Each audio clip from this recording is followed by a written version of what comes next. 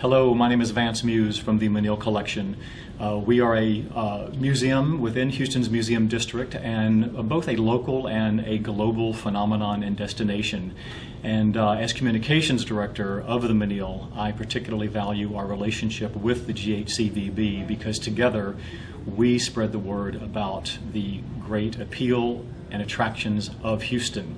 We roll out the red carpet together, bringing visitors really from all over the world for business, for pleasure, for holiday, for cultural diversion, and we do it together.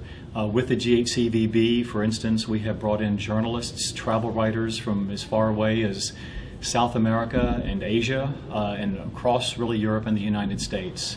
So together we are a terrific team, and we're extremely grateful for our partnership with GHCVB.